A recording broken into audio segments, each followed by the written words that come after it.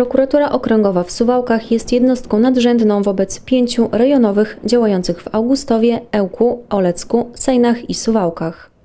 Ogółem więc sześć prokuratorskich zespołów skierowało w minionym roku do sądów sprawy, w których oskarżono ponad 2900 osób. To mniej niż w roku 2022 i to sporo. Różnica to niemal 840 osób. Na razie e, badamy to zjawisko. Nie wiemy, czy to jest e, trend, który się powtórzy w przyszłym roku, e, czy to jest trend lokalny, czy też będzie widoczny w danych ogólnokrajowych. Ale faktycznie z tych naszych danych wynika, że poprzedni rok był bezpieczniejszy w porównaniu do poprzedniego. Być może to wynika z dalszego, mm, trochę opóźnionego efektu pandemii, ponieważ Y, liczba osób oskarżonych y, jest, y, wynika z pewnego też trochę przesunięcia czasowego, bo te postępowania w prokuraturze czasami trwają 3 miesiące, czasami nawet dłużej, jeżeli są złożone. Więc Pamiętamy wszyscy, że podczas pandemii był lockdown, ludzie bardziej byli skupieni na swoim zdrowiu niż na mm, popełnianiu, załóżmy, przestępstw, więc być może mm, ta sytuacja mm, mm, to jest jakiś właśnie odległy w czasie skutek pandemii, że jednak tutaj odnotowujemy mniej osób oskarżonych. Y, ale być może to wynika z jakiejś innej sytuacji, też y, trochę inaczej sytuacja wygląda na granicy niż jeszcze, jeszcze rok temu, a ta sytuacja na granicy generowała nam też y, dużo spraw i dużo osób oskarżonych. Zmalała też liczba osób, wobec których prokuratura skutecznie wnioskowała o zastosowanie sankcji w postaci tymczasowego aresztowania. Przez 12 miesięcy minionego roku za kraty na czas postępowania przygotowawczego trafiło 306 osób, rok wcześniej 362.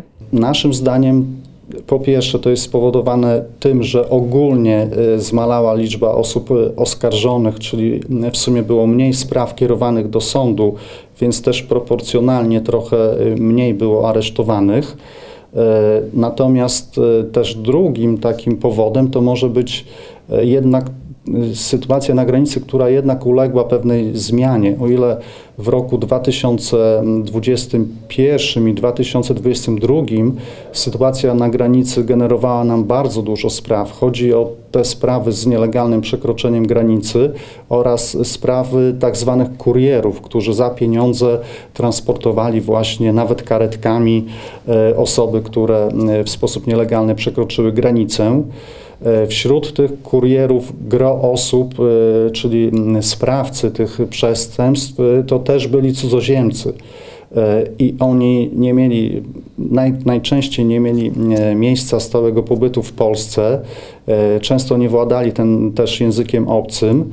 I jedynym w zasadzie, mm, e, jedyną gwarancją, żeby zabezpieczyć tok postępowania, aby ta osoba, która dokonała mm, e, tego przewozu, ten kurier, żeby został pociągnięty do odpowiedzialności karnej, w zasadzie jedynym środkiem to było wnioskowanie do sądu o zastosowanie tymczasowego aresztowania bo gdybyśmy tego nie zrobili, on po prostu by się rozpłynął i nie byłoby kogo postawić e, przed sądem. Jak podkreśla prokurator Wojciech Piktel, tak zwany proceder kurierów wprawdzie nadal występuje, ale jego nasilenie jest zmienne. Czasami mamy znowu nasilenie tych przestępstw związanych z kurierami.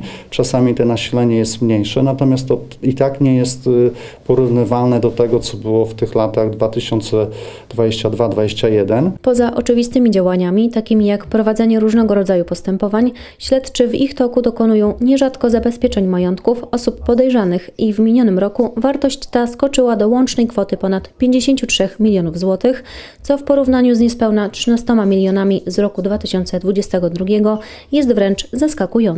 Skuteczność prokuratorów okręgu suwalskiego pozostała na podobnym poziomie i sięga 98,7%. Z 3046 osądzonych uniewinniono zaledwie 37 osób. Prokuratorzy też nie zawsze zgadzają się z orzeczeniami wydanymi przez sądy. Korzystają wówczas z prawa apelacji, które często okazują się skuteczne. W 2023 roku uwzględniono ich ponad połowę.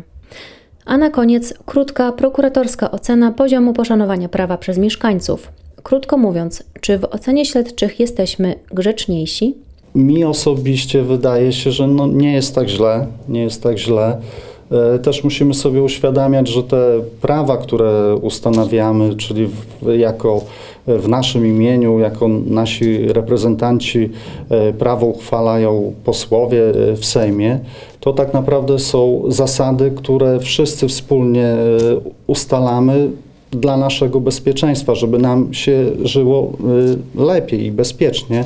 I moim zdaniem jednak y, ta świadomość prawna i tutaj kultura i y, to, to się wz- wzmacnia, a to z kolei się przekłada na y, no, spadek przestępczości, a przynajmniej na zmianę charakteru przestępczości, bo tak jak jeszcze niedawno mieliśmy przestępczość typu rozboje i tego typu e, przestępczość, e, no można powiedzieć, popełnianą na e, publicznie niemalże, no to teraz e, przestępczość troszeczkę ewoluuje, ale z kolei mamy też rozwój przestępczości związanej z internetem, cyberprzestępczości, oszustw internetowych, więc e, można powiedzieć, e, charakter przestępstw się zmienia.